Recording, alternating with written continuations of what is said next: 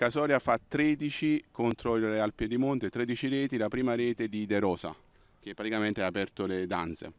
Beh, vabbè, si fa sempre piacere segnare, soprattutto per me che sono difensore.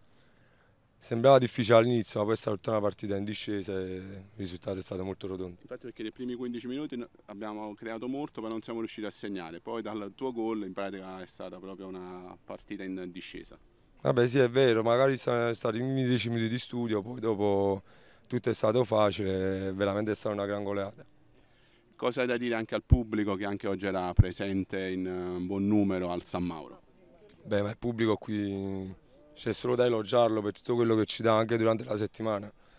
E sono quelli che ci danno sempre il motivo di dare un qualcosa in più la domenica come oggi. A cinque giornate dalla fine, cosa vuoi dire a nome del gruppo che tu in questo momento rappresenti?